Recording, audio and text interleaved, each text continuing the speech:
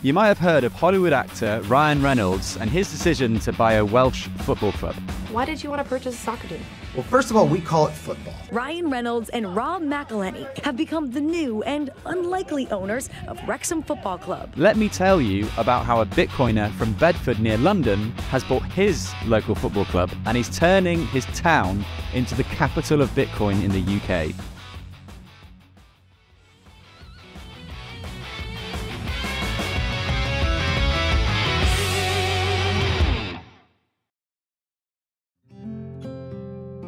My primary mission is to raise up my town. Opportunity and success for my town. Andy Corbett gives Real Bedford a crucial lead. Welcome to Real Bedford. It's pronounced Real, not real, because the owner, Peter McCormack, has Champions League dreams. could raise a billion and I would get this club in the Premier League in, in, in nine years because you just you have no money to do it. Yeah. I could build a 200 million pound stadium Yeah. if I did a shitcoin. It's really tempting.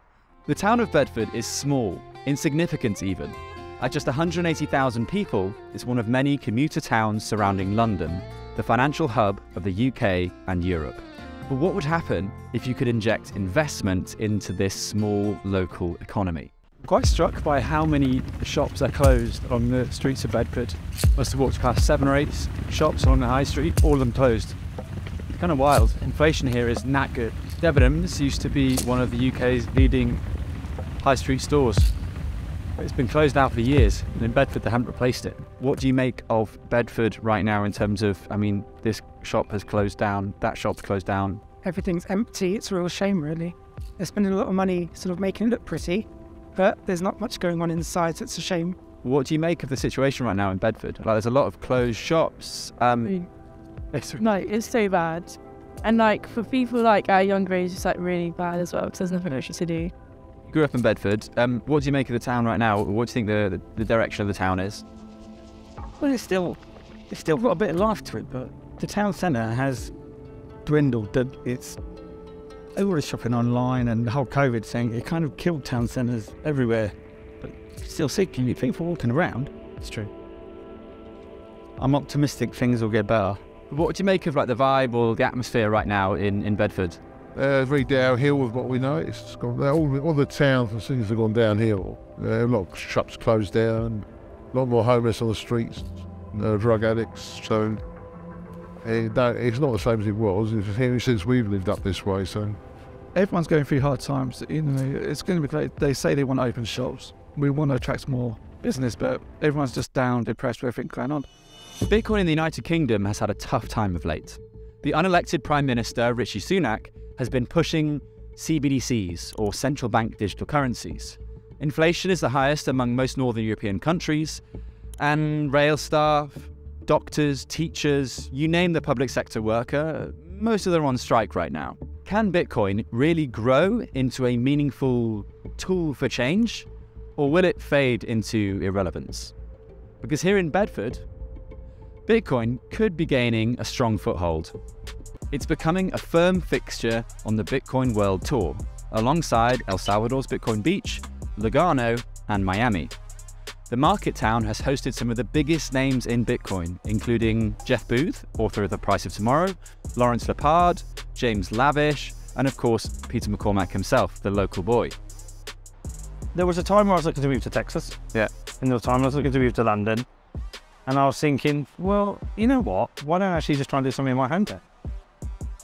My friends are here, that's where I'm from. And, and so, yeah, and, and I think in doing this, I've come to really love the town. Yeah. Because people have got behind the project, really supported me. I mean, all the volunteers every week can come out and help, all the people who come and support us, you know, that makes me love it more. Peter McCormack is proudly from Bedford and he wants to orange pill or introduce Bitcoin to his town.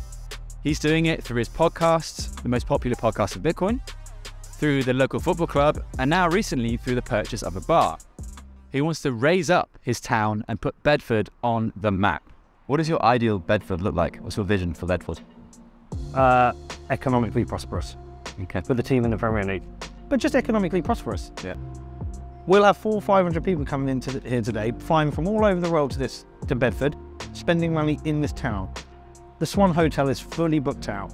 They're going to the pubs, they're going to the bars, they're going to the shops. They are tens of thousands of pounds will be spent this weekend in Bedford because of this. That's driving economic opportunity.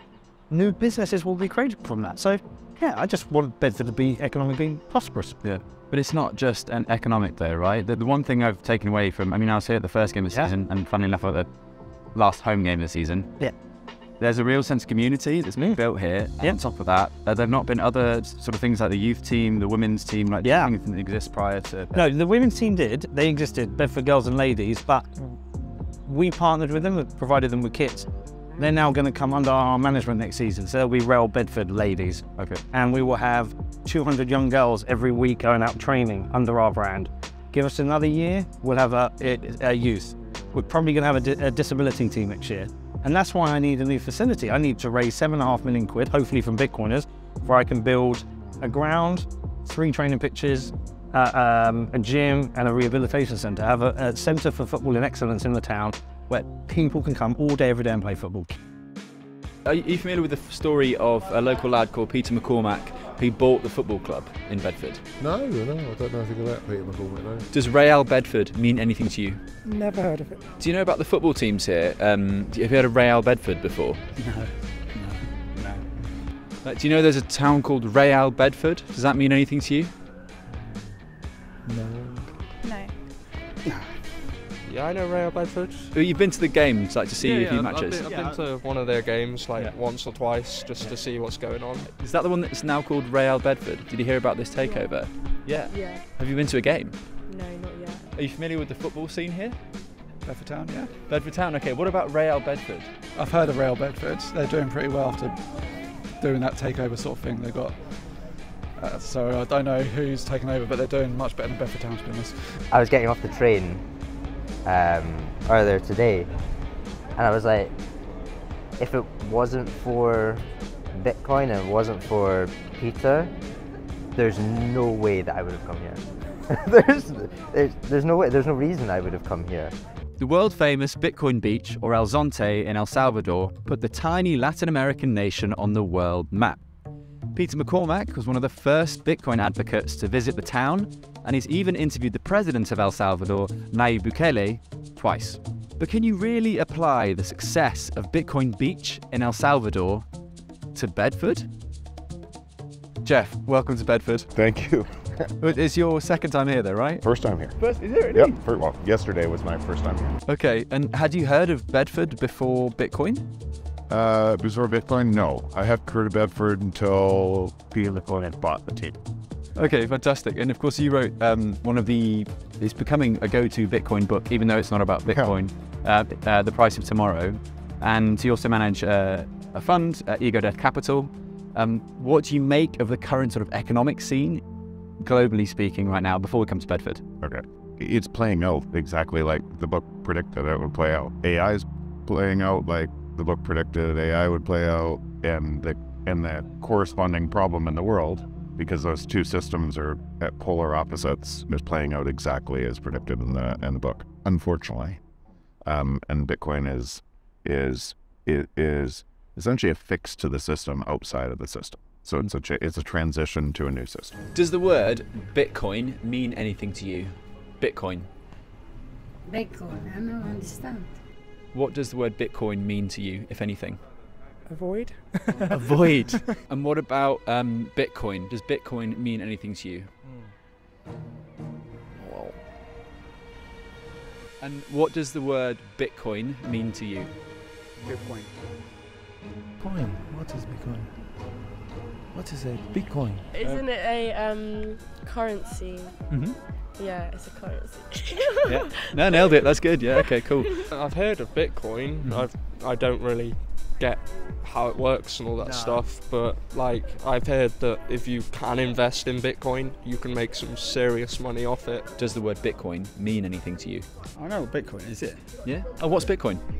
Uh, it's uh, uh, how to put it into words. It's it's uh, uh, basically computer generated currency. It's not it's not tangible in your hand, but it is traded as currency. Yeah.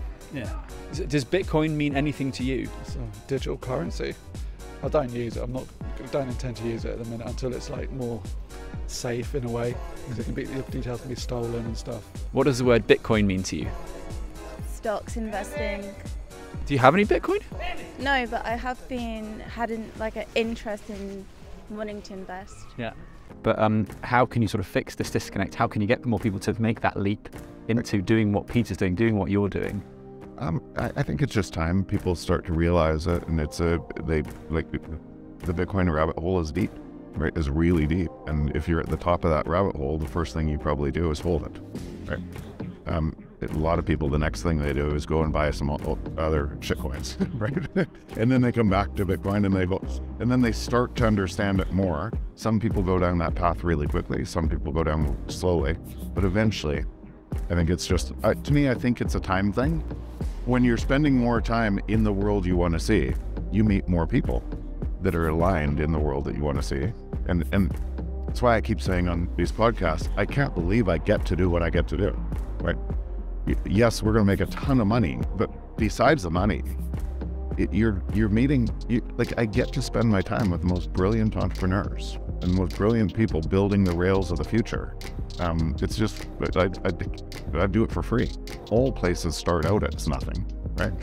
Yeah, look at El Zonte, right? Yeah, exactly. And and and an economic an economic growth like what Bitcoin could do here and drive attention and more and more people, it, it emerges. A bunch of other businesses flock into there, and it creates uh, and it creates something that would look different, just like El Zonte. It looks different than it probably did ten years ago. Much to the amusement or bemusement of local fans, Bitcoin people from all over the world are coming to Bedford to watch this local team play. Even non footballers are keen to meet up. It's an unexpected collision of two vastly different worlds Bitcoin and football. Behind me, Ben Arc is putting together a Bitcoin point of sale device with things he brought with him from home. We're in the football clubhouse of Real Bedford. He's showing people how to set it all up. The game is happening right behind us. We're in the second half it's 5 0, 6 0. Do you even care? Yeah, I mean, I I don't really follow football. I'll be honest, Joe. i Why are you here?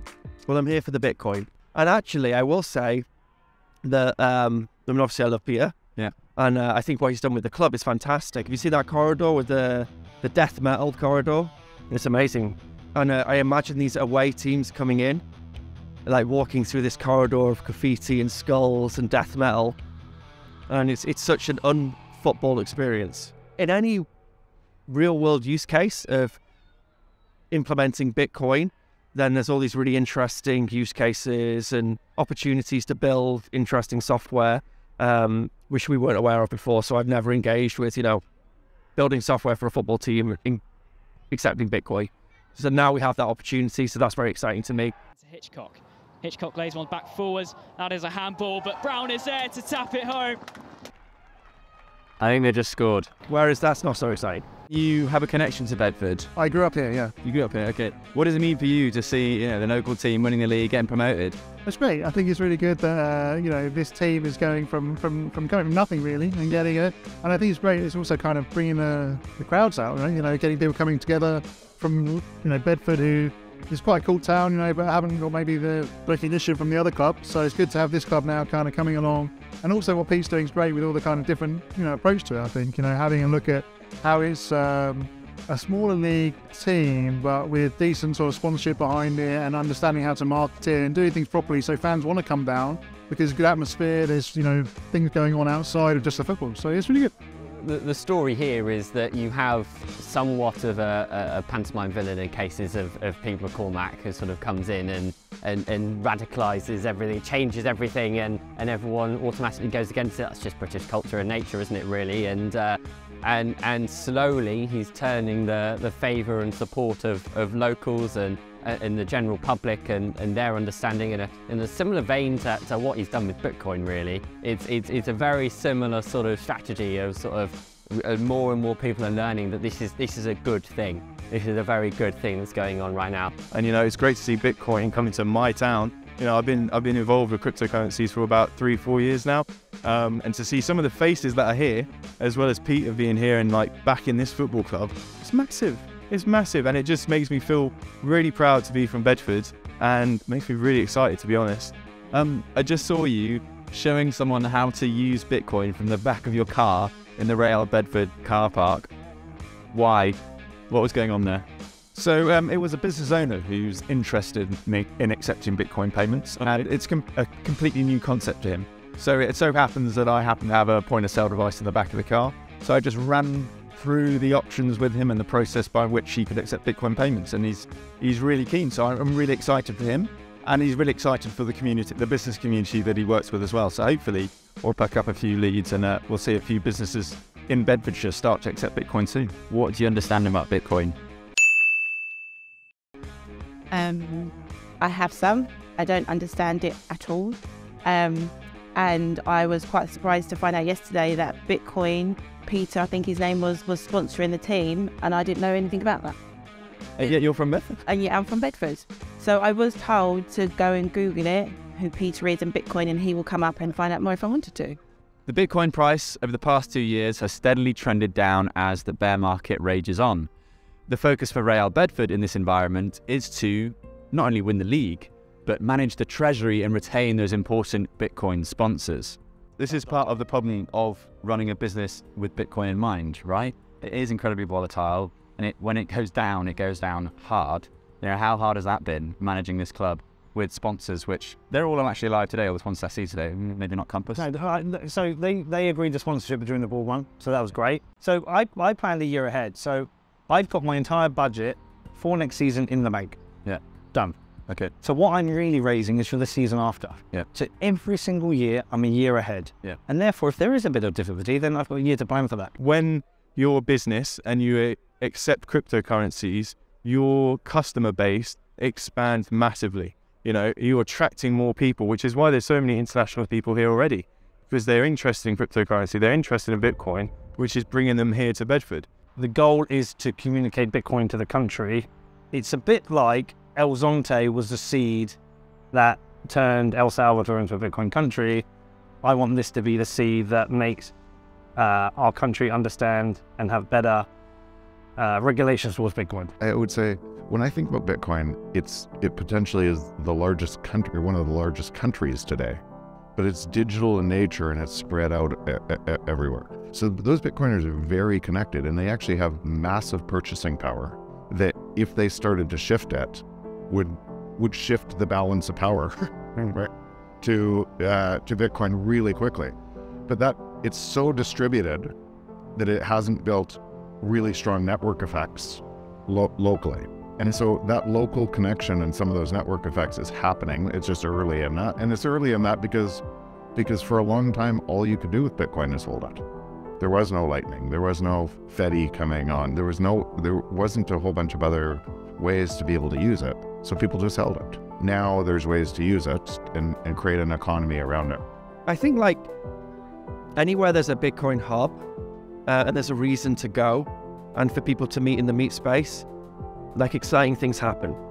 And the thing that's happening with this football club, and every time there's an opportunity to use Bitcoin in the wild, actually use it, paying for goods and services, then there's a whole bunch of cool things we can build off it as a use case. So I get super excited when anywhere adopts Bitcoin. Real Bedford will play in the league above next year for the 2024 season. That means more money, more prestige, and ultimately even more Bitcoin awareness for the town. I think this is one of these projects whereby I don't think anyone really understood in the start. They're like, whatever, football player doesn't make any sense. And I think it's starting to make more and more sense to people. Yeah. Uh, I don't think anyone really understood the branding or the name. I think it's starting to make sense now. Yeah. Like, I, I could see it. I see the whole vision. I can see how we can get to the Premier League. Yeah. It requires hard work, a bit of luck, and Bitcoin to get behind it, and Bitcoin to keep doing its thing.